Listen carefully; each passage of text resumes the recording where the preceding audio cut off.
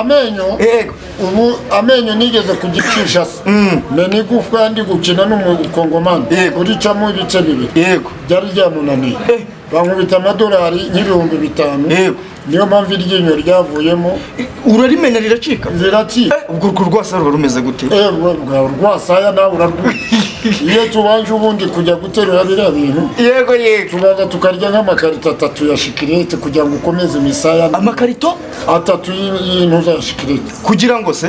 Ukomeze imisaya n'imihogo. Reka none. Uko ugenda urya cyane niko indi igenda ikweduka. Oya iyo ugenda urya cyane ahubwo hari n'ibindi atakubwiye. Buriya mbere yo kurya abanza akarya utudobo tubiri twa maseriwari turiya tudobo dukora pirije mu nda ariko kutari kumva ibyo nkubwira mu myitozo ukajya ubeshya kandi ari njyewe ubikubwira ni ari njyewe umutoza. Mu myitozo agomba kurya indobo ebyiri z'amasedwari. Kugira ngo ajye kuritera kandi tumara nk'iminota icumi tugahita tujya mu kurya umuceri. Ni ukuvuga tubanza tukagorora ingororangingo. Umuntu ujya unumira ni umuntu uba ufite ingufu.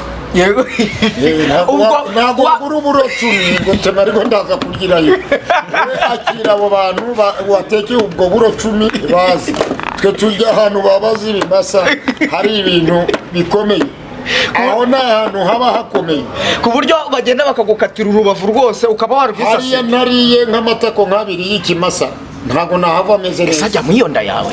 None se abanyarwanda baravuga ngo akazu gato karya iki? Ukarya ubwatsi yego yewe nawe uriyigisha none se wabonye umuhungu wanjye hari ubunini afite yewe se wabonye hari ubunini afite ariko rero ni byo bya bindi nakubwiye akazu gato. Ariko umunyarwanda aritegereza abanyarwanda ni hatari.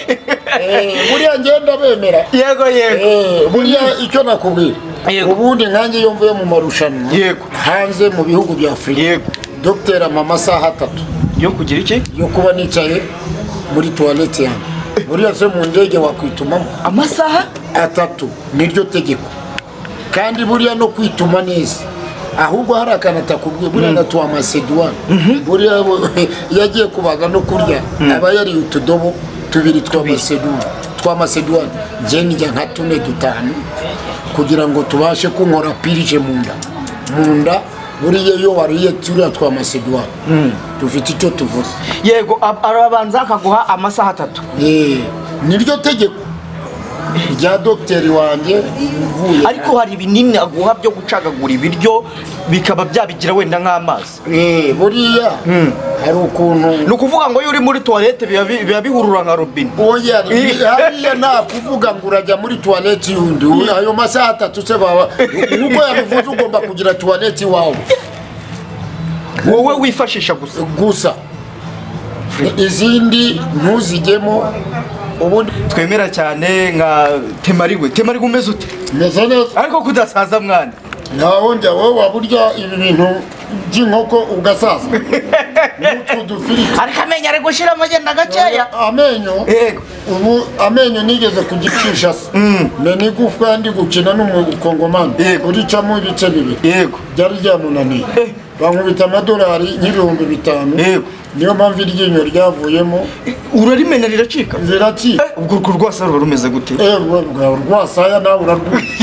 Iyo tubanje ubundi kujya guterura biriya bintu yego yego. tubanza tukarya nk'amakarito atatu ya shikirete kugira ngo ukomeze imisaya. Amakarito? Atatu y- y'intuza ya shikirete kugira ngo se? Ukomeze imisaya n'imihogo yareko none.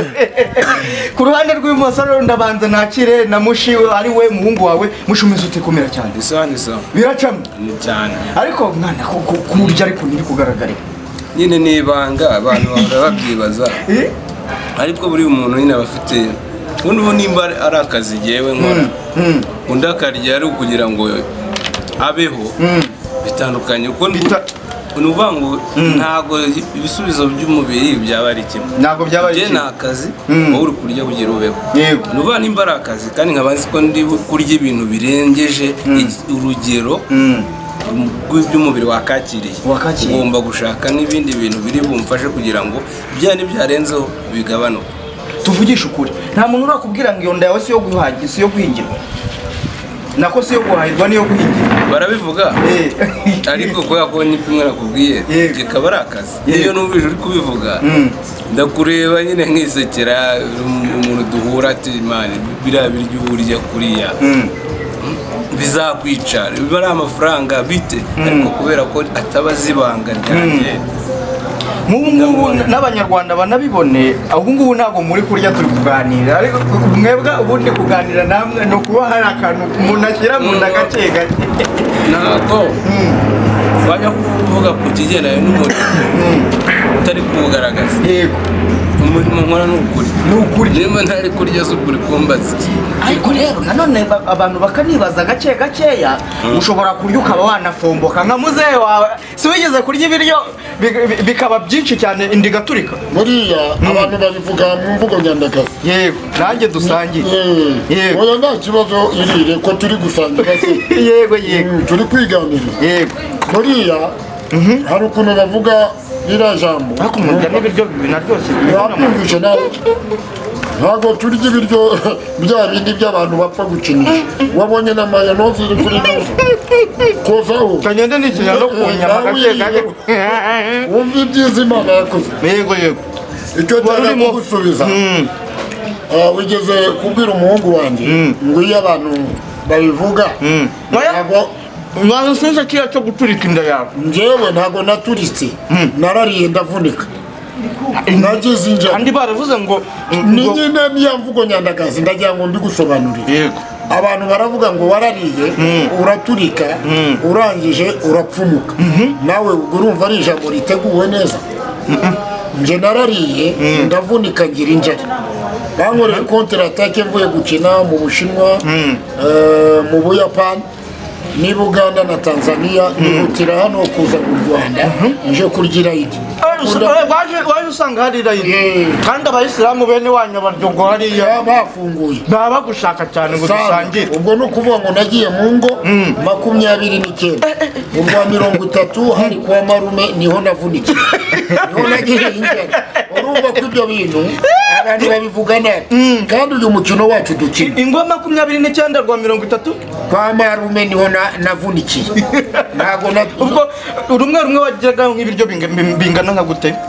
Urugo rumwe ni ukuvuga ngo naryagamo isine ebyiri z'ipilawu yego. Eh, za sinya ziterurwa n'abantu nka bane. Eh, ni ukuvuga ngo zungu- bari zongo ni sinya zingana nkawe nk'umuhanga amabona kameramani wanjye agenda yumva yumva nawe ukuntu bimeze.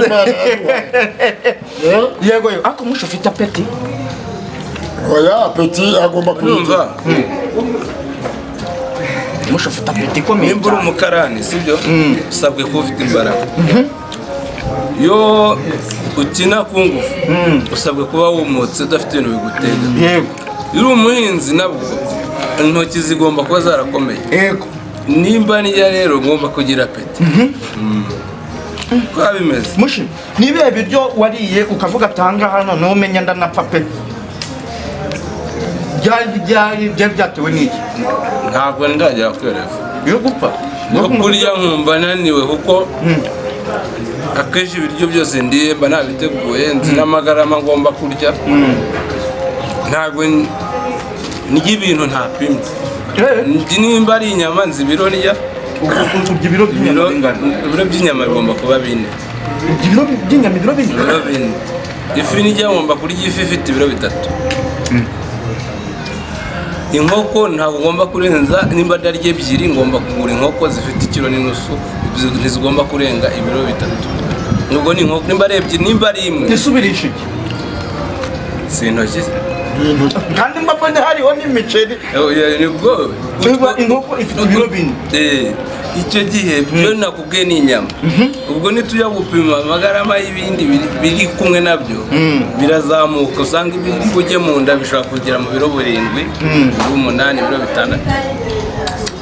Ukabishyira mu nda yawe? Yanjye. Ugahagaruka ukagenda? Haguruka nkagenda. Ugashyiraho soda ingana gute? Cyangwa ntabwo aho ukoresha soda. Buriya reka nsa naho musubire Yego. turiya tuntu ni nka twamitiye no nko kwiganirira nk'ubu se wavuga ko turya Ah, tu- turi kuganira ariko se muze tuvugishe ukuri ushobora kurya ibiro bingahe by'inyama yewe iyo nagiye mu marushanwa mpuzamahanga ntabwo njya ngenza ibiro mirongo itatu ibiro mirongo itatu ukabishyira mu nda se nka niruka ahubwo numva uko niko kuri nguhaye N'amata- n'amatako atatu y'inka iyo ntayabonye nta nubwo ni cyo amatako atatu y'inka y'ibimasa kandi ukayashyira mu nda ukiruka umva ndiruka nigeze ku- nigeze kubona akavidewo kawe.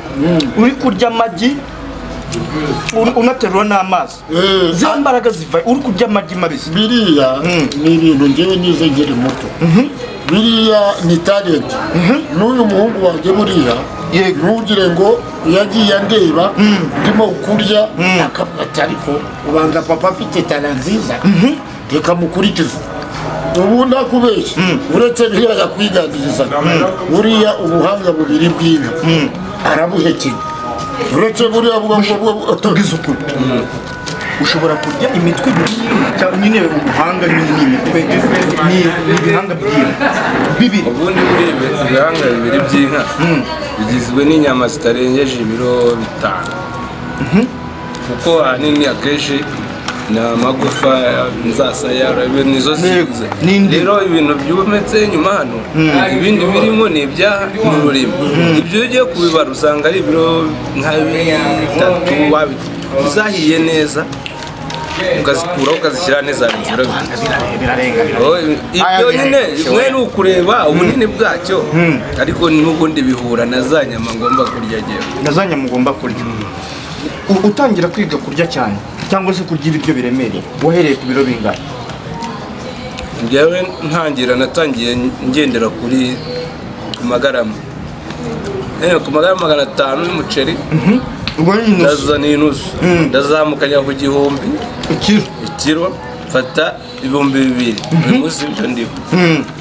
Kandi urumva ubwo ni ibiro bibiri by'umuceri. Ngira ngo n'abantu ni bwo bamaze kubibona. Ushobora kurya ibiro bibiri ni bwo by'umuceri. ndimo nzamuka. Ushobora kurya ibiro bibiri by'umuceri oya utwo ni dukeya abantu nakubwira utwo ni twa mitiyu ni ukuganira wowe ku rundi rwego uyu nawe urwego yego ndi hejuru ariko utwo turo nkatungahe ni duke kuri. We ese uko ugenda urya cyane niko inda igenda ikweduka oya iyo ugenda urya cyane ahubwo hari n'ibindi atakubwira buriya mbere yo kurya abanza akarya utudobo tubiri twa maseriwari turiya tudobo dukora pirije mu nda ariko kutari kumva ibyo nkubwira mu myitozo ukajya ubeshya kandi ari njyewe ubikubwira ni ari njyewe umutoza mu myitozo agomba kurya indobo ebyiri z'amasedwari. Kugira ngo ajye kuri tera kandi tumara nk'iminota icumi tugahita tujya mu kurya umuceri. Ni ukuvuga tubanza tukagorora ingororangingo. Yego. Zose ni ukuvuga biba bifite amategeko. wegereza mikoro yego. Eh, ni ukuvuga ngo twebwe tuba dufite amategeko aturengera. Yego. buriya ntabwo tu- turya gusa ngo na- nagiye numva bamwe ngo bariya bantu ni ibisambo ntabwo turi ibisambo Uri- iyi ni imikino dukina no ku isi yose bakumva ko ari imikino ikinwa ku isi yose. Ntabwo ari mu rwanda. Nigeze kubona eh, umukobwa w'umushinwa wariye arapfa. Uriya mukobwa rero nanjye banyohereje nk'umu- nk'umusitari Yego. nka superstar wo mu rwanda. Yego. barambwira ngo umushinwa ko yariye agapfa. Ndavuga buriya hari ukuntu yariye nabi. Ariye nabi bi- biramwenga ubwo aba yariye nabi gute yaba yariye nabi nta tugira inyicaro buriya ashobora kuba yaricaye inyicaro nabi ugasanga uburyo ushobora kwicara bikakubangamira Eh, ubundi twebwe twicara inyicaro enye gute? Hari kwicara iribondo ubanza akaguru k'iburyo. Ubwo akaguru k'iburyo ni nk'amasiniya ane y'ipilawu yewe yewe yewe wahindura ibumoso ni amasiniya ane ubwo amasiniya ane wenda isiniya ifite nk'iro nka bingahe igomba kuba ifite nk'ibiro bitanu uko niko kuri iyo siniya na we nta nubwo we nta n'uwagwa wagera hangunda ashwi. Twe turarenze noneho wagaruka ku muhungu wawe we ni ibindi bintu. Ubu ni we nshaka kuzasigira iyi tara wowe ukabivamo. Eh, ubwo nimara gukina n'umunyamerika wa mbere ku isi. Azaza mu rwanda tuzakinira muri stade amahoro. Uyu azaba ari hariya. Nshatse namuha umwanya agakina nawe. Eh, ubwo numara gukina nawe aferi yawe izaba irangiye? Izaba irangiye nahereza umukino umuhungu wawe. akawusigarana agasigara akurikirana. Yego. ntiwasanze ari umuhanga. Ni umuhanga cyane umuntu urya biriya bintu. Nanjye- rero nka papa we ndamwemera. Ubu ngubu ni we manager wanjye. Nta n'umuntu ushobora kuza ngo yivugishe ngo ndagushaka tema oya agomba kubona.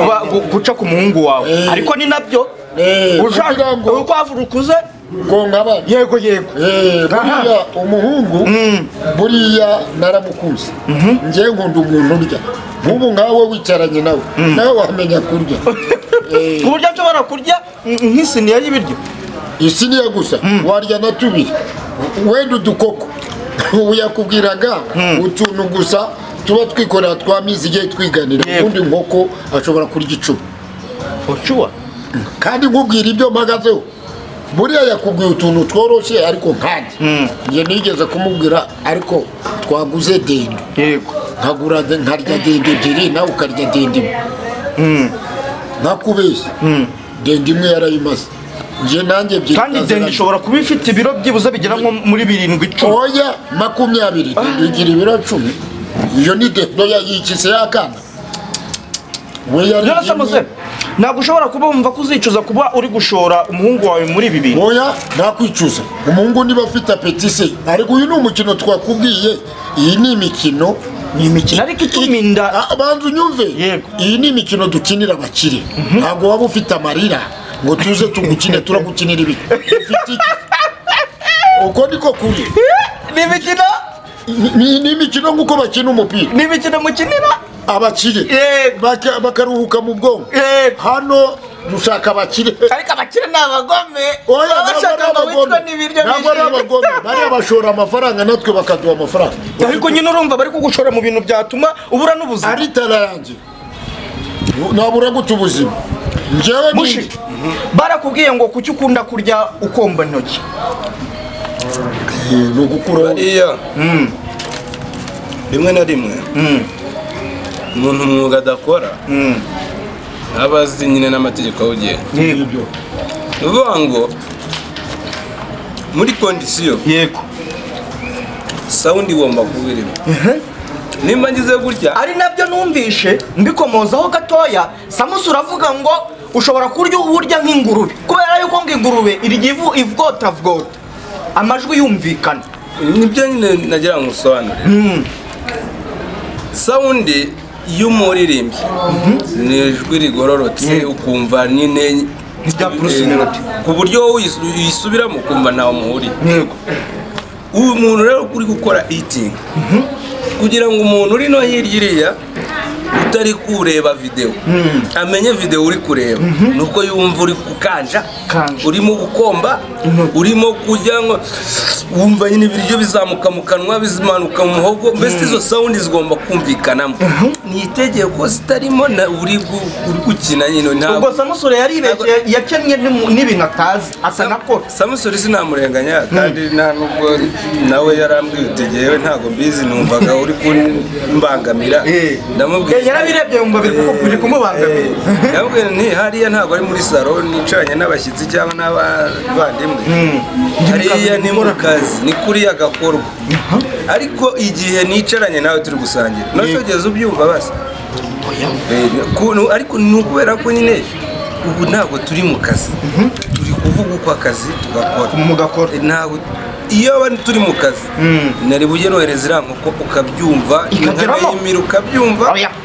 Fata aka- Umva. ukabire ndebe oya baratsa gatoya. Njyewe- ibintu biba bigomba ahangaha Niba- abanyarwanda baba bari kumva. Niba ari akazi dore ni urugero. Nk'ubu ngubu urabona mfashe gutya. Ngomba kugira gutya.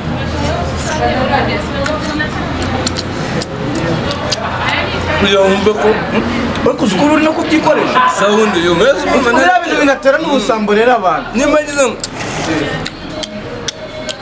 urumva umuntu ni bwo amenya mu by'ukuri kuri kurya icyo ndi gukora ku buryo utareba we yanabyumva nta kibazo yego yego yego. Ushobora kuba akumva utari kubona muntu ari kurya uyu muntu ndi kumva ari kurya ariko ageze ku igufwa rya kangahe arahekenye aramize nabyumvishe arakombye arakombye arayoye byose ku buryo izo sawundi nyine ziza ni ibijyana n'amahame y'uyu mukino ntabwo ari gusa uko musure aho ari yiganye. Na- yarabisobanuriye twara- narabibwiye kuko nyuma ni ahantu twahuriye. Umva, tuvuga baravuga naho umuhungu wanjye ubundi ibi bintu dukina. Bifite amategeko. Turagira ngo tunabibwire abanyarwanda babyumve. Yego. Uyu mukino nagusobanuriye ufite amategeko. Yego. Ubundi kujugunya ibiryo hasi ni ikosa. Bagukubita karite jone iyo zibaye nke ni ruje. Buriya no gucira. nabivuze eh, nabivuze mu kinyabupfura. No gucira. Bagukubita karite ruje gucira muri kurya Eh, kumena ibiryo. Wabitamiye ukabigaruka Eh, ni byo nashatse kuvuga. Ariko nabishyize mu kinyabupfura aramfashije. Buri ikintu cyose iyo cyajemo amategeko ni amategeko. Kandi ibiryo turya biba bimeze bite? Ni ukuvuga babivana ku nkono bamena aho ngaho. Ni ukuvuga biba bishyushye. Iyo uhojeje ubishinzwe gutanga amanota amukuraho amanota. Eh, ntabwo ukwiye guhoza ibiryo. Uyu uri gushya se? Ibyo ntabwo bibareba. Gahunda ni ukujya kuri tere twakubwiye ko bifite n'inyicaro yego. Kandi tuba dufite n'imyenda ya kimono. Eh, tuba twambaye imyenda y'akazi. Yego birumvikana. Ntabwo mu marushanwa yose wagiye ugiyemo yose ariko watsinze. Byanga bikunze hari naho bitagenda neza. Oya njyewe mu marushanwa nagiyemo mpuzamahanga. Yego. Ni njye wagiye utsinda ibihugu bya afurika na aziya oh. Eh, ubu njye ndi uwa mbere. Mu bihugu bya afurika na aziya niyo mpamvu turi gutumaho uwo munyamerika. Yego. Bakaza mu rwanda. Ubu mu kuri ndimo kukubwira njye ambasade y'abanyamerika. Yarantumiye hano mu rwanda. Yego. Njya hano kacyiru. Yego. Ngeze kacyiru nyina na ba basirikare barinda ambasaderi bya bizungu biba bitekaje bazana bazanye utubaba tw'inkoko. Uratubona utu tubaba. Bazana ikiro n'inusu. Bazana utu- utubaba ikiro n'inusu. Eh, mbwira ambasaderi. Njye do nivo yanjye ngezemo njye sinakina nawe njyewe icyo mbasaba ni inkoko ijana. Ni ukuvuga inkoko ijana ntibazibonye bazana amagi ijana. Wowe nyaryana ibishishwa mwe ya kinyarwanda. Ndangije ambasaderi yamaye amadolari ibihumbi bibiri. Urya amagi ijana? Umva nta- n'ikindi n'ubugazi bubiri bwa soda bwa tonike uhirika mu nda umva ni ubucupa mirongo ine n'umunani. Uhirika mu nda mirika mu nda kandi inzara nahavanye ahubwo ese ndibaza wenda mu buzima busanzwe atari n'akazi ni nako nuku nguku uba umeze? Mu rugo se sasa nawe tuganire nk'umunyamakuru kandi tuganire ibintu byiza. Ntujya ujya kogeza umupira? Yego. None se twiganirire Yego. nk'umunyamakuru nanjye nkunda kuganira. Yego. Wari kuva wabaho. Wari wumva hari umukinnyi? Ukinira muri salo y'umupira. Ajya heza kibuga. Ubwo nanjye iwanjye rero ntabwo nahacira amarushanwa. Urya akasahani kamwe. Oya iwanjye ntabwo ushobora kurenza ikiro n'inusu cy'umuceri na zo uracyita gikeya ni igice nyine. Ni akaro k'inyama n'ubuteremusi bune bw'igikoma. None ubwo bahera mu gitondo bagutekeye. Oya nta mu gitondo. Ngendira rimwe nimugoroba. Ubwo eh wowe urya rimwe ugonge nike mu Eh, ubundi kereka iyo nagiye mu myitozo za musanze eh, ngiye muri antrenema Yego. ubu ndimo kwitegura umunyamerika wa mbere ku isi. Icyo nakubwira ubu ni insinda uriya munyamerika wa mbere ku isi ndajya muri genesi ariko umukino ngusigira umuhungu wawe umukino uba usigira umuhungu wawe Eh, asigare nawe eh, awu- awu- awubungabunga awubungabunga ariko biravuga ngo ngo ngo ngo imfizi byara uko ibyagiye inyana ni iya mweru. uko niko kuri. Yego. Eh. mushi ku- byatewe n'iki kugira ngo wumve ko ukwiye gu- gukurikiza so si ukubyara urumva niba ibintu byaratunze famiye sibyo? Yego. akaba ari sisiteme yo kwihangira imirimo. Ngomba gukora imyuga mbona ushaka ku- gu- gukendera kandi abanyarwanda bawukeneye ushobora no kuwuntunga nanjye giti cyanjye nk'uko wadutunze muri famiye. Eh, rero nta mpamvu yo guhanga indi mirimo kandi hari undi utari gukurikirana. Uwo n'ubundi wanatunzwe famiye kubera urugero. Eh, cyane. ko byakunda Eh, sasa hari iki- hari ikibazo nk'abanyarwanda ubu ngubu tayari baba bategereje ko mwibariza gake gakeya baba bategereje muri rusange.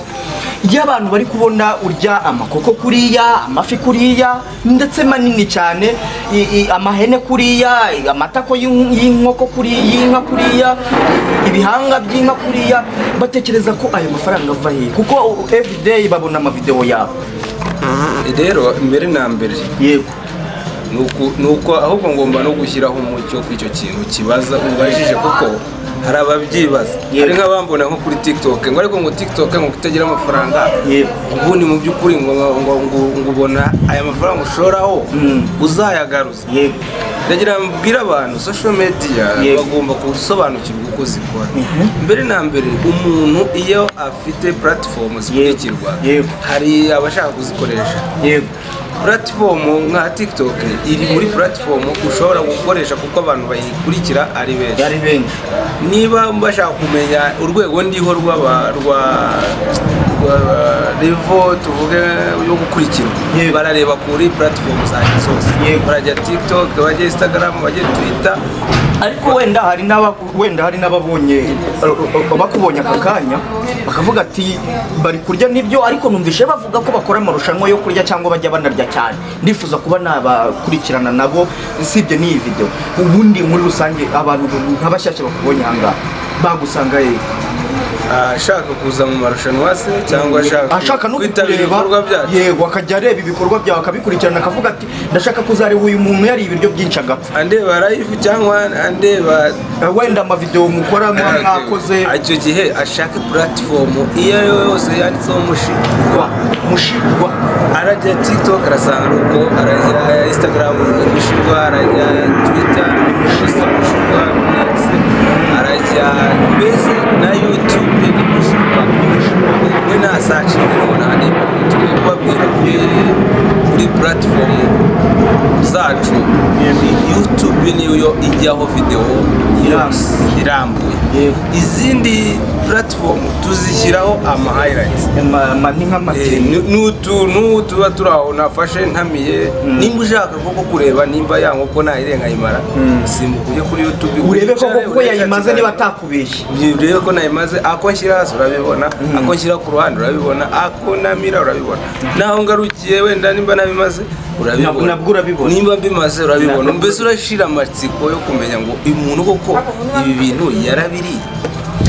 Nkahita ngira ikindi kibazo cy'amatsiko.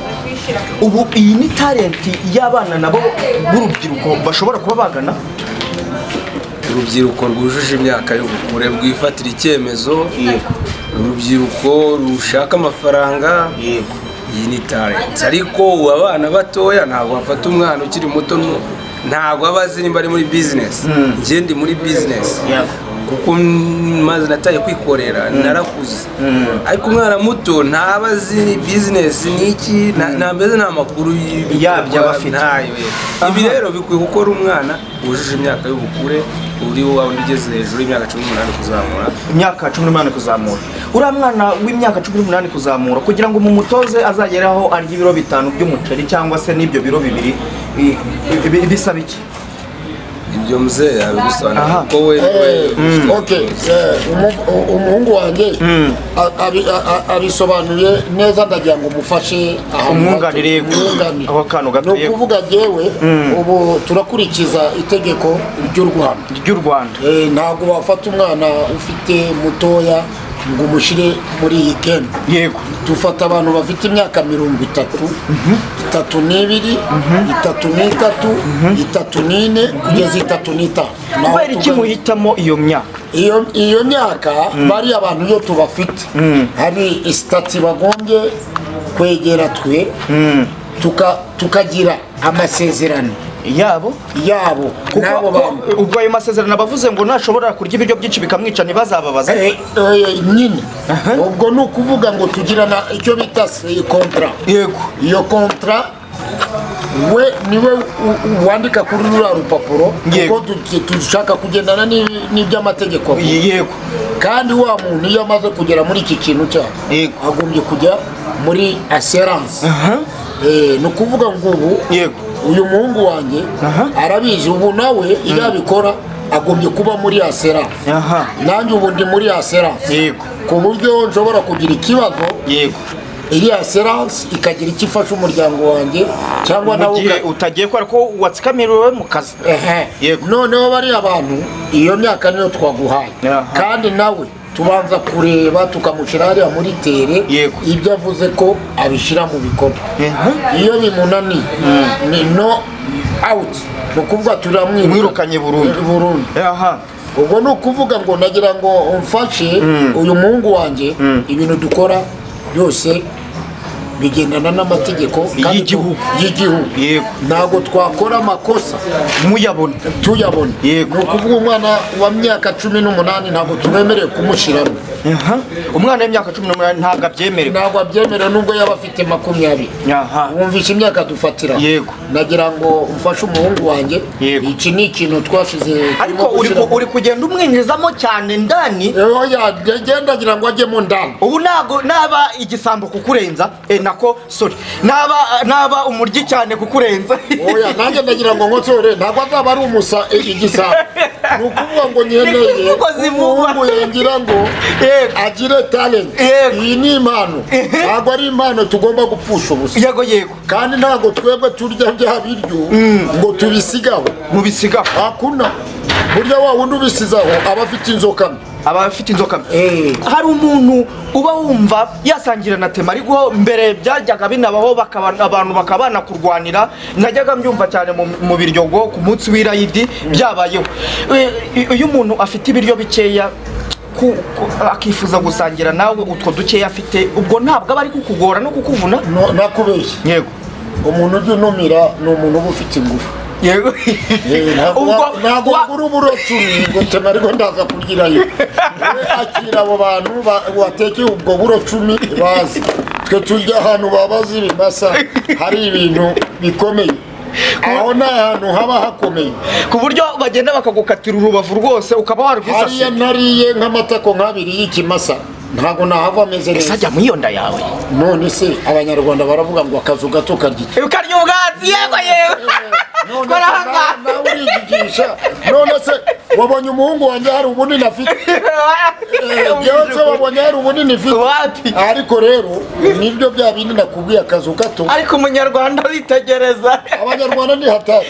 Eh, buriya ngenda bemera. Yego yego. Eh, buriya icyo nakubwira ibi byose twakubwiye ni ibintu umuhungu wanjye arimo gutegura kandi ubu turashaka no gutegura biro. Ya yindi ashaka kuzaguhamo akazi ukajya ukora. Yego. Inoti uzazibona. Inote nzazibona. Sasa ndimo ndibaza. Eh. Ah, ibi bintu bijya bigira imishahara izwi? Ukavuga ngo niba ah, ari ari amarushanwa ngiyemo aha n'aha Eh. umushahara wanjye ni uyu cyangwa ni ya ubundi matiku ngewe iyo ngiye mu bihugu bya afurika nazi.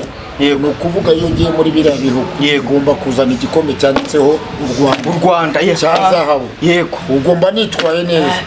Kandi ntiwambwira umushinwa niba arisha uduti. Njye nkarisha intoki. Wabonye lotipe? Ukuntu azi kurisha intoki?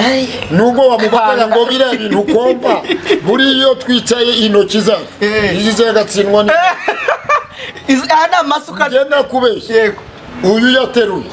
Aterura irobo njye nterura nk'inusu ntumbaze irobo y- y- y- y'umuceri gutyo ukayiterura Eh, uyu irobo none se ukasa mu rwasaya irobo ikajyamo reka twiganire yego. Buriya hari ibiryo mu rwanda. Utagombye gushyiraho iryinyo buriya umuceri ikintu bita ubugari ikintu bita amakaroni wakagombye kugira iki? Wagombye kumanura tu. Free nta buryo Biga ugatara. ushaka. Eh, ntiyabikweretse se umuhungu wawe. umva hano tumeze nabi iyo twagiye mu kazi. Eh. ni akazi inusu y'umuceri. Niyo uterura ntubare ngo uyu muhogo cyangwa aka kanwa ni gato Eh. nakubwiye hari tekinike yo kurya. Ase gacaye kandi uyu nguyu yanabigusobanuye neza umuhungu wanjye. Eh, nawe uvuga inzoka ntubona ko imira inka cyangwa ikamera Imbeba, imbeba, yego, ari none se ntoya. iba ingana ite igenda ariko na yo ni gake gakeya. Rero biriya buryo ikora niko ubuntu bworoshye bukwiye kuko ubu- impamvu ubikora kuriya kubera ko bigutinza Yego. biguye gutinda ukanja ntabwo ari bari byo nimba ari amakaroni nimba ari umuceri nimba ari ubugari ibyo ni ibintu usunikira mu kanwa. Nabonye urya urusenda kenshi cyane Im- imana yakoze kuba iki kibazo nkibutse ngo nkikubaze nabonye urya urusenda rwinshi cyane. Ruriya rusenda nta ngaruka bikugeraho cyangwa wumva umanza kuruca intege buriya rwose ni impamvu ndurya rungana kuriya n'abandi ubona barurya. Ntabwo ari ibi bintu dukora twe tweya tubikora. Ni ibintu bikorwa ku isi hose. Hose. ruriya rusenda wowe wariye urusenda rwishingira ngo benshi baranabizi. Wowe direkite witwa yo bya bindi wariye.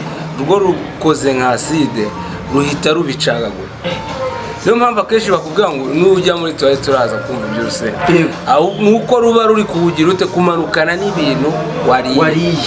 Eh. wowe. Ariko tuvugisha ukuri wenda ni n'akantu gatoya kaba kagiye kunyuramo. Iyo ugiye nko kuri tuwarete bigenda gute?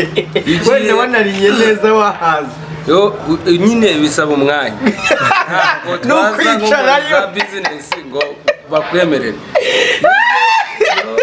Iyo ugiye mu za bizinesi bashobora kukwishyuzayo umunsi wose kuko utwara umwanya. Ibi bisaba ngo uba uri iwawe ahantu utuje n'ujyayo bamenye ko ugiye. Ujya ukora siporo? Cyane wese ubwo waba umeze utya nta siporo? Ariko kuri aka kantu agushubije Yego. umuhungu wanjye ni sawa? Yego. ubundi nkanjye iyo mvuye mu marushanwa Yego. hanze mu bihugu bya afurika Yego. dogiteri ama amasaha atatu yo kugira iki? Yo kuba nicaye muri tuwarete yanjye. Buriya se mu ndege wakwitumamo amasaha? Atatu. Niryo tegeko. Kandi buriya no kwituma neza ahubwo hari akantu atakubwiye. Buriya natuwa amaseduwani. Buriya bo- iyo agiye kubaga no kurya aba yariye utudobo tubiri twa maseduwani twa maseduwani njye njya nka tune dutanu kugira ngo tubashe kunkora pirije mu nda. Mu nda buriya iyo wariye turiya twa maseduwani dufite icyo tuvuze. Yego ab- arabanza akaguha amasaha atatu. Eh, niryo tegeko. Rya dogiteri wanjye mvuye ariko hari ibinini aguha byo gucagagura ibiryo bikaba byabigira wenda nk'amazi. Eh, buriya hari ukuntu ni ukuvuga ngo iyo uri muri tuwarete biba bi- biba bihurura nka robine hariya nta kuvuga ngo urajya muri tuwarete yundi. Ayo masaha atatu se baba nk'uko yabivuze ugomba kugira tuwarete iwawe.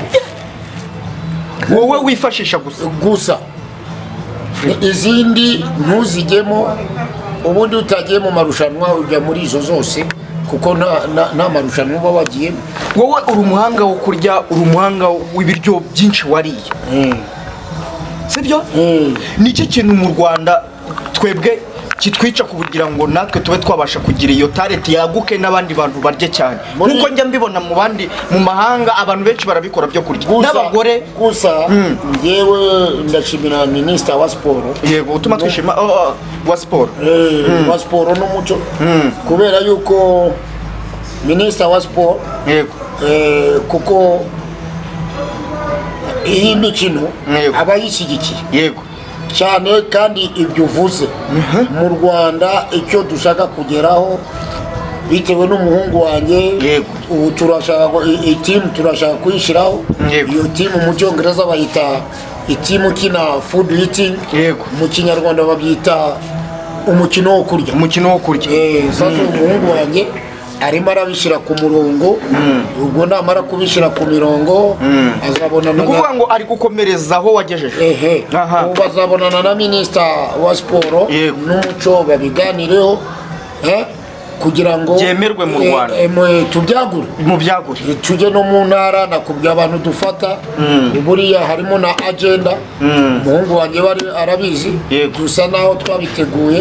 Iyo tuvuze agenda ni abakobwa bafite iyo myaka twavuze n'abagabo bafite iyo myaka. N'abakobwa bakaba barya cyane. Eh. ab'abanyarwanda simbamenye. Ni ukubatoza turi kubatoza baraboneka. Yego. Eh, kandi tukubwira ngo ubu iriya biro tugiye gushyiraho abazaza badushaka ni ukujya bashaka manager uyu muhungu wanjye ni we bosi wa byose. Yego. Niwe nanjye ubu ngenderaho itegeko ni iryo. Yego. Kuko ubu ni we uri kubipanga ni we uri gukora planning. Planning. Aha. Mushirwa ngaruka n'iruhande rwawe gatoya nkwibariza kuki wateguye yuko hakwiye kubaho ikintu kinini cyane nk'iki ngiki n'amarushanwa muri rusange? Eh, ni uko ubona byagirira akamaro n'abandi bantu benshi cyangwa ni uko uvuga ati ushaka guteza imbere umuco wo kurya waguke. Urabona iyo urebye nko kuri za interineti yego. Usanga ibi bintu ahubwo bikorwa ku bwinshi n'abantu benshi. Kandi noneho bakabikora mu buryo buri porofesiyoneri noneho nkanjye nararebye mbona viye yarabikoze kandi bi- biramutunga. Yego. Ni gute njye ntabikora nk'abinoza nk'uko aba- a- abandi babikora mu burayi za erope na- aziya amerika abandi bagerageza ni aba nigeria nibo nabonye bapfa kubijyamo. Ariko ndashaka ko nyine bikorwa u- uko babikora ko tubikora ariko noneho bikaba noneho made in rwanda bikaba made in Eh, ku Rwanda buryo mu rwanda naho uwo uwo mukino uhari wo kurya. Ahubwo aho kugira ngo badutumire natwe tukabatumira. tukabatumira. Urabona nko muri aziya bazi ko ibi bintu ubundi bikorwa n'abantu bo muri aziya. Niba ejo umuntu food eating ahita yumva ibyo uri kuvuga ibyo muri aziya. Atari ibyo muri Eh, hano wavuga kubera ko bo bafashe umurongo nimba abantu bajya bareba kuri za youtube. Hari youtube yabasize kuri standard nk'iya Music, bafite ujyaho ugahita usanga mu kabanga.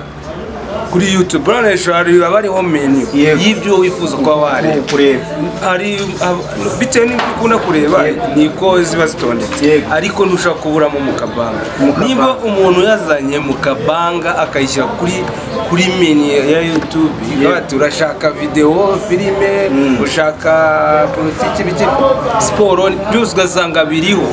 Ugasanga mu kabanga ni ukuvuga ngo kiriya ni igikorwa. Gifitiye abaturage akamaro.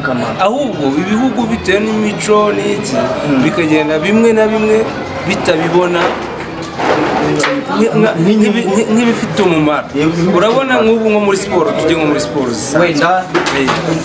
Tuzi futuboro icyo yinjiriza igihugu? Igihugu. Na- n'abagitunga n'abagitura basiketi urabona ko irimo iraza yego na yo bari ariko eh, iyo ugeze muri amerika usanga basketball ari cyo kintu bazi ko gifatika wajya i burayi ugasanga football niyo baha agaciro cyane kubabwira basket ntibashaka kubyumva. Ni ki- ni na cyo kibura rero mu rwanda no mu bindi bihugu bitarajyamo ibintu bya food eating.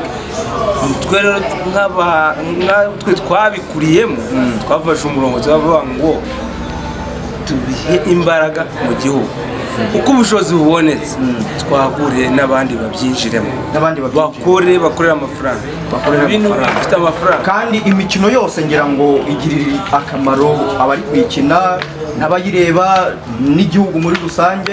Imikino iyo ari yo yose igira umumaro muri populere y'abaturage. Kuko igihe cyose njyewe ndi uri kureba videwo yanjye ushobora kujya mu rugo ujya gushaka uburyo uteka cya kintu naryaga. Yego. Ushobora kujya kuri interineti ugasacira uko bagiteka. Uko bagiteka.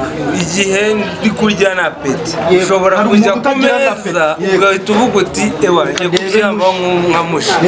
Ah, kubera ko ibiryo hari abantu ba- bafite ibyo kurya ariko Byananiwe bananiwe. kurya. ibyo byose rero hari mesaje mba ndi kubaha njyewe Eh, nimba nishimiye ibyo buryo ndimo ndya mujya mubibona. Niyo ugiye kurya nawe ugomba kugira uburyo. Gukopera none se kuki gukopera Gukopera ugomba kuvuga uti ko ejo nariye bikanga. Kandi bakabonye bakantekera. Nanone bite ku meza. Bwati ngiye kurya nka mushini nawe ntumviriza. Eh, ibiryo biramanuka umubiri ukabona abasirikare umubiri ugakomera ngiye kubisobanura byadusaba Ya, ko bwakira eh, ejo tukongera Eh, ni byinshi gusa abashaka kubireba abashaka kumva ibyo ndi kuvuga bajye bakurikira puratifomu Mushirwa. mushirwa TikTok. tiktok mushirwa instagram mushirwa yuza x mushirwa Yego. Byinshi byinshi biriho. Tunashimira n'umuntu njya mbona ukunda kugufasha cyane mu buryo bwo kuguporomotinga ku mbuga nkoranyambaga kazungu ka bosi kazungu buriya ni umuntu w'umugabo nanamushimira sana. Buriya umuntu iyo abonye nk'ikintu cy'umuntu akavuga ati uyu muntu kiri kumutwara imbaraga. Reka nanjye gerageze mushyiremo akaboko. Abagufashije buri Cyane. abagufashije gasuku nawe buriya ari ariko tutarava ku ka gasuku. Wenda reka tubanze tuvuge ibya kazungu gasuku we ndaje mu kanya hari utuntu nshaka no kumukubariza mushimire nawe. mumushimire yego. Mm. buriya bariya bose hari n'abandi. Hari n'abandi hari abo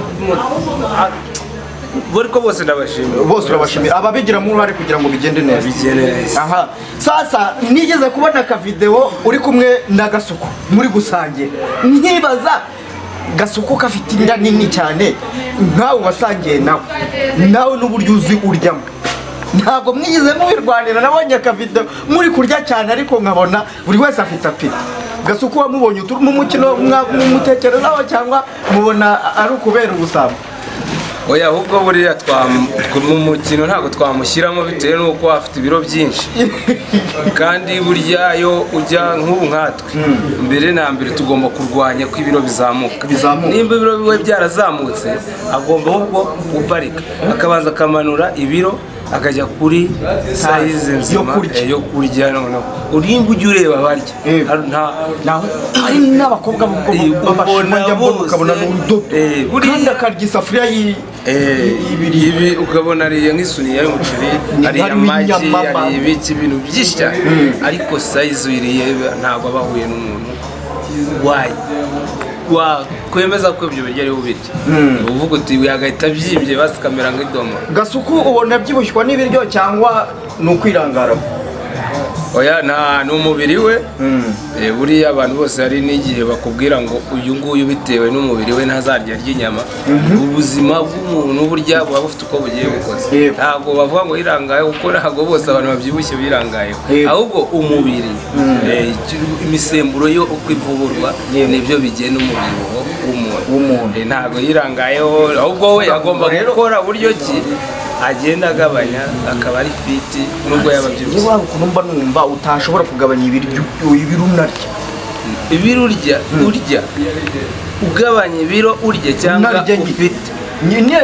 Ukagabanya ibiro kandi unarya. Oya ngufashe gatoya cyangwa mfashe Yego. umuvandimwe yego. Buriya biriya biryo iyo dukina yego. ntago iyo bagushyize ku munzani bakareba n'ibiryo wariye basanga bya biro wariye ibya bindi byakugiye mu nda. N'ibiro ufite. Ntacyo bigabanyaho nta n'icyo byicaho. Ahubwo icyo nashakaga gufasha kazungu sinzi ibiro afite. Ariko ubundi umuntu munini bitewe n'ubunini afite ntago yemerewe kurya ibiryo byinshi. Yego. Kubera ibinure byinshi. Ahubwo nasabaga uyu muhungu wanjye kuko bakinye n'akazungu Yego. agenda mubwire eh, agenda mubwire Yego. ajya afata ziriya za tv kugira ngo biriya binure afite bigende- bigabanyuke. Yego. nagira ngo n'umuhungu wanjye Yego. ako ni akantu uh, mbaye nk'umufasha. Eh, kugira ngo azabwire kazungu ubundi akazu gato nabigusobanuriye niko karya abana karayititimura Eh, nk'uko yabigu- yabigusobanuriye na neza arakubwira ati hari abantu bafite ibiryo bananiwe kurya. Bananiwe kurya. Ye buriya rero nkatwe biriya bintu gusa icyo nafashe umuhungu wanjye kandi nsaba minisita wa siporo na meya w'umujyi wa kigali. Ibi bintu bijye bitegurwa babishyire hariya abanyarwanda. Babirebe. Kuko ni ibintu byinjiza amafaranga. Binakurura n'abantu. binakurura n'abantu kandi n'abantu bakaruhuka bakaruhuka mu bwonko Eh, aho kugira ngo umuntu atekereze ibidashoboka akaza akirebera uwo mukino. Bikarangira. Bikarangira agenda mu mutwe we haruhutse. Yego. Eh, buriya mu bintu abanyarwanda tumaze kugeraho ubu abantu basigaye bafite ukuntu bagombye kuruhuka mu bwonko bagombye kuruhuka Eh. yego yego. Sinagenda ntakwibarije aka kabazo rero nako aba ari akabazo k'amatsiko cyane. Iyo wigize iyo wariye cyane mu marushanwa baba bagennye nk'ibiro bingahe? Muri buze kurya. Ubundi ibiryo ntabwo bashobora kurenza nk'ibiro mirongo itatu. Mirongo itatu. Eh, cyangwa makumyabiri. Hari uwo nshobora gukina nawe agasaba ibiro bitanu. Yego. Cyangwa icumi wo mu mahanga. Ubwo iyo yasabye icumi njye ndisekera yego. Guseka rero mba mbona ko atari ngiye gukina n'umuntu ni adiveriseri ariko icyo ngiye kubona ni amanota. Ni amanota yego. ni cyo mba nkeneye njye ni ukuvuga ngo umureba wicecekeye. Nicecekeye kandi nanareba n'ingicaro hicaye navuga uriya ntacyo ari bukore. Ntacyo ari bukore. Eh. iyo wariye nk'ibiro nka mirongo itatu biri mu nda yawe. Eh, ushobora kuba wakora akabariro k'abashakanye ukakanoza oya cyokora. akazi imirimo ibiri nawe abanyarwanda babivuze neza yananiye impyisi? Ni ukuvuga ngo iyo nagiye muri iyo marushanwa yo kurya iby'akabariro ntabwo biba birimo ehe? Bampa ibyumweru nka bingahe ngomba kuba ndi kurya za i- nta bindi bintu? Ngomba kurya. Kandi nkubwize ni ukuri. Kuva imana yandi masi ndarya ngo mpage. Ahubwo se ndahagira none se umuhungu wa- umuhungu wanjye yakubwiye kuba yakina iyo mikino yari yahaga nawe ubwado guhaga ni ibindi bindi. Guhaga byo- Ni- ntabwo bibaho ntabwo bihari. Ntabwo bihari. Ubwo iyo wariye nk'uwakirya nk'iyo mikino gutyo kugira ngo ubashe kuba wa- wahura n'umugore wawe nuko uba umaze igihe kingana n'ibyumweru bibiri. Eh, uwavuye muri ayo marushanwa ni ukuvuga ngo nawe hari icyo umugenera Eh. niba mvuye hanze umugore agomba kubona nka miliyoni y'imwe Yego. niba bamaye miliyoni makumyabiri agomba gufata mwimwe kugira ngo nawe yumve ko imana yagize neza. Yego. Ni ukubera iki bakubuza ibyumweru bibiri byo kuba utahura n'umugore wawe buriya ni itegeko riba ryavuye kwa dogiteri Eh, buriya impamvu ya mategeko ariho bagomba gupima ibyo biryo ko byujuje ubuziranenge. Yego. nawe bakagupima ibintu biba birenga ni ukuvuga ngo ugenda uri sobo ukata wowe mu nda yawe warakoze tize zisobanutse. Ariko ubwo iyo ugiye kurya uramanza ukiyiriza inzara ikakwica oya amagambo yo kwiriza nakubwiye dukora entrenema nk'uko wumva abakinnyi bakora. Ugenda urya gake gake. Oya tujya za musanze hariya haba kirima nziza ukarya. Hari ubukonje akayaga. ubukonje. Njyewe navuye muri antrenema i musanze. Ngera nyirangarama kwasi na gerard inzara yanyishe. Kandi maze kurya ngendo zingahe eshanu. Oya, oya, Ubwo ni cyiza. wenda nta muntu utakabye ariko oya icyo nkubwiye njyewe ndazirya kuko iyo njya hariya mu bukonje baza n'uyu muhungu wanjye ahantu h'ubukonje umuntu ararya mwebwe hari ikintu muba mwumva ko hano hano hatu- harashyuha kugira ngo umuntu abashe kurya bya biryo uzarebe niba uvuye ku kazi nkabo bashobora kuguha ibiryo bitewe n'akazi wakoze ukavuga bisubizeyo madamu yego. Ntabwo ari byo. Ugomba kwicara iwawe ukafungura. ugafungura. Kandi ikindi mbwira abanyarwanda. Iyo umuntu yageze ku meza apana telefone. Yego. zimya telefone urya ibiryo. Uzi ko natwe iyo tugiye gukina batwambura za telefone? Nta kindi kintu uba ugomba gutekereza. Nta n'ikindi. Mubaze arabizi ni itegeko umuhungu wanjye ararizi ko ryagiyemo. Yego. N'umunyarwanda yaciye umugani ngo umugabo n'uwariye ntuwariye Yego. kandi iyo uriye ibyawe ukarya n'ibyo uriya uba umurangije akazi. Uko niko gukora.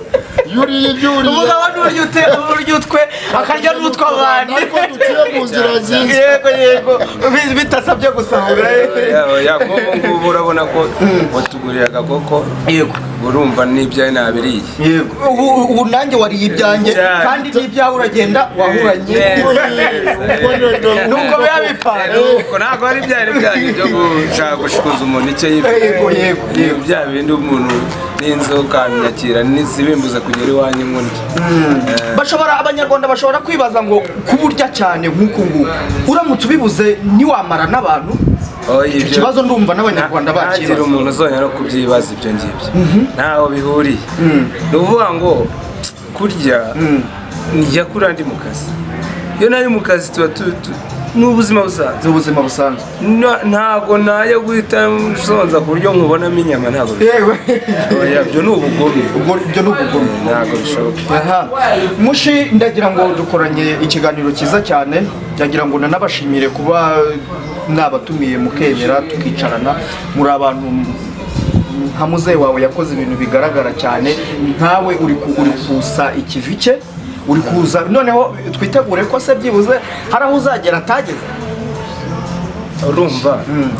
Ibyiza biri imbere. Nta- ntacyo twijeje. Oya. ntabwo wadutera amatsiko. Oya ndagira ngo mbavuge aho ngaho. Yego uyu nguyu ari mu byiza. Yego. Nk'uko abikubwiye ngo ibyiza biri imbere Yego. ngewe nanjye nabitangiye mfite imyaka nka cumi n'ine none ku myaka yawe cumi n'ine waryaga ibiro bingahe mu by'umuceri myaka yanjye cumi n'ine ntabwo naryaga mu rugo. Mu myaka yanjye cumi n'ine naryaga nk'ibiro bitarenze bitanu by'umuceri. Mu- ku myaka yawe cumi n'ine? Eh, naryaga ibiro bitanu by'umuceri. By'umuceri? Eh, narya nkarya ibiro bitatu by'inyama. By'inyama. Eh, ubwo urumva rero.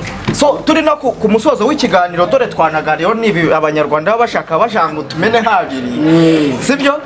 Eh, ntabwo nasoza nakubwiye iki kintu. Mu- wenda na kameramani aramfasha gushyiraho kamera Eh. iki kintu kinsubize wabitekerejeho neza. Mu buzima bwawe wa- waciyemo ni ikihe kintu cyakubiriyeho nk'isomo gi- gituma niyo wacitse intege wongera ukisubizamo imbaraga. Ngewe rero intege zanjye? Buriya barakubwira iyo wariye ukora byose. Niyo uri umunyeshuri nk'ubu ngubu. Ndaguha urugero nkawe warize yego. Mu rugo ba- badatetse ibiryo. Ukamara nk'iminsi ibiri. Cyangwa umunsi umwe. Wajya ku ishuri ugafata. Icyo nshaka kukubwira rero kurya birimo ingingo nyinshi. Utekereza neza? Yego. Kuba wakora ikintu uvuga ati nariye. Ariko hari n'igihe uryo cyane ukarengwa. Oya twebwe ntabwo twakubwiye kurengwa. Hari abantu bagira gabo ubu turimo turatanga inyigisho. Yego. Ubu turatanga inyigisho n'abantu babyumva. Yego. Ni ukuvuga ngo iyi mikino dukina. Yego. igusapotinga. Kugira ngo ibyo ukora byose wariye ubikore ufite imbaraga. Yego. Mbwira utariye wagira imbaraga. Ntazo nagira. None aha turi kuganira nkawe nk'umunyamakuru. Yego. Eh? yego. Uravuga ngo ngiye ku kazi bazampemba yego. Niba naguhemba ugomba kurya muri ya mafaranga. Ukanambaramo na neza. Ukubaka umubiri. Cyane ikintu twebwe abanyarwanda dukeneye ni uko abanyarwanda bakubaka umubiri. Ubu nonaha. Ubu abanyarwanda batubona turi gukora ibi. Uwo ari we wese aravuga ati uriya muhungu wa temarigo twarya nkoko nziza twebwe twayiriye. N'aba bana babibona bigaca nk'uku ariko bikaba bitabatera ubusambo ngo bajye kubyiba. Twakubwiye ngo iyi ni imikino. Iwawe ushatse ushatse no kurya neza. No kuwukinirayo. Yego. Wakwicarana na bariya bana ukababwira abana ubu se naho abana bakubwira ngo ndashaka kurya nka mushi. Yego. kugira ngo nabonye mushi arya ibintu byiza ndashaka kurya nka temarigo Yego. ubu njyewe nzi abana b'abakire kubera ko tubona abana bararya. Ariko uzi ko hari abana b'abakire bananirwa kurya. Ariko iyo batubonye turya gutya baravuga reka turye nka temarigo cyangwa turye nka mushi yego. Bikabaha kuraje kuraje yego. Buriya rero hari abantu bafite ibiryo batabirya.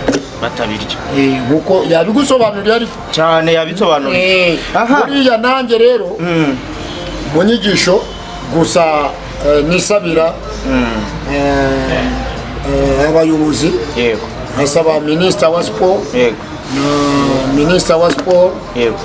Iyi ni imikino batagomba kwita ubusambo. Ni imikino ikinwa ku isi. Hose. Tukaba dusaba nyakubahwa minisitiri kuba yaduteramo inkunga kugira ngo bakabyumva bakabimenya. Eh, bakabyumva bakabimenya. Iyi mikino dukina ntabwo ari ubusambo. Ni n'imikino iba yigisha abantu ibyo bagomba kurya. Nk'ubu hari abantu batazi masedwani Yego. icyo imaze yego. Masedwani ituma mu nda hamera neza umuntu akabasha kudejera neza. Eh, ndabyumva cyane. Eh, bino na- ni nka mesaje tuba tubwira abanyarwanda kugira ngo babyumve. Buriya gufata twa masedwa nk'umusiporutifu nyuma avuye muri siporo akiyuhagira yava kwiyuhagira agafata twa masegoni ni nko mu minota icumi mu yindi minota agafata icyo kurya. Ntabwo tubahaye amabwiriza yo kunywa inzoga.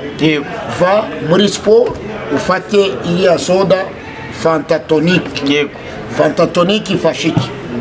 Ni ukuvuga fantatonike ituma utura yego. Bya biryo wariye ukumva biri mu nda sayizi biri kugenda. Ari sawa. N'izo masedwane twavuze yego aha. Tugomba gutanga n'inyigisho tukaba dusaba nyakubahwa minisitiri wa siporo kudufasha muri icyo kintu. Eh, meya w'umujyi wa kigali meya w'akarere yego. Eh, ba gitifu b'umurenge bakumva ko ari umukino bagomba gu- gufasha. Yego. kuko abanyarwanda iyo bawubonye bagerageza kuruhuka mu bwonko. Bagerageza kuruka mu bwonko. Eh, nk'uko wamamaye bakaba bakuzi nka temarigwe urya cyane. Ni ukuri icyo kintu uvuze ndazwi pe. Ariko iki kintu dukeneye ko bakidufasha kikagira bakanabitegura tukajya no kuri sitade yego. Nk'uko umuhungu wanjye yabivuze mushinga bagatumaho umuntu wo mu buganda. Kuko barakina tanzania barakina i burundi barakina kenya barakina Eh? mu bihugu by'abashinwa barakina mu- muri amerika barakina. Iyo ni imikino iri ku isi. Kandi ni imikino isobanura ko yinjiza amafaranga. Yinjiza amafaranga. Hari abakire bakeneye kuza kuwureba bakanishyura ayo mafaranga nk'uko bishyura yego. Ubwo twasabaga nyakubahwa minisita wa siporo kuzadufasha muri ibyo bintu nk'abana b'abanyarwanda. Twabikozemo umwuga tukaba tubifitemo tara tukajya tunabijyana no mu ntara. Z'u rwanda z'u rwanda Eh, nizeye yuko abanyarwanda byose ntibakabyitiranye ubusambo. Ni nk'imikino nk'iyindi ni nk'imikino nk'iyindi. Eh. so turi no kugana ku musaza rero ku musozo ndagira ngo umushi ubanze ubwire abanyarwanda uko ibintu wabibonye n'uko ubyumva noneho utange n'igitekerezo cyawe muri rusange. Icyo navugaho. Urabona nk'ibi bintu dukora. Akenshi nyine ntabwo sorry babisobanukirwa niza kuri iyo mikoro. Yego fashaho gake. Iyi ndabona izindi yego. Akenshi ibi bintu dukora ntabwo babisobanukirwa yego. Ariko buriya kugira ngo usobanukirwe ikintu uragikurikirana ukabaza ntutukane ntugaye ukabaza mbese ugashaka n'amakuru kuko amakuru arahari. Yego, kuri na- interineti biba biriho wasacinga ukareba amabwiriza abigenga ibintu byose amakuru aba ahari. Icyo navuga kuko ari twe turi kubikora mu rwanda mu buryo wenda buri mpuzamahanga uretse ko hari ibyo tutaruzuza bimwe na bimwe nabasaba ngewe ubwanjye. Kureka kunca intege tu. Tugakora ahubwo wabona utabyumva neza. Wowe ukavuga uti byazantera ubusambo. Kujya ndeba umuntu nk'uyu uri kurya ugaca izawe. Ntubonye kujya ubireba. Ariko ushaka kubireba ubona hari icyo byamumarira mu mibereho ye ya buri munsi. Ubona ashobora no kujoyininga uwo nguwo ntashaka amakuru kuri interineti nareba amavidewo yacu iyo yagizemo akabazo atari komenti atanga ko hari ibi n'ibi ukabirya gutya. Umusobanurira impamvu byabaye. Ariko akenshi turagongana hari igihe mbona bari kunuka igihe mbona ariko nta kibazo. Iyo unutse wabirebye ngiye mba nkeneye kubireba nta kiba bimbwiye nta n'ikibazo mba mbifitemo komenti mbere ko n'abanyarwanda bakwiye kujya banazirinda rimwe na rimwe. Iyo ubonye ibintu utari kubyumva ushobora no kunigendera cyangwa se wabona biraza gutuma uzamura umujinya wawe ukabireka vrema. Izi nitwa papa igikomanga mu muya audio official ndaranamwenge bimedire rwanda miss ubushinwa papa kibwa.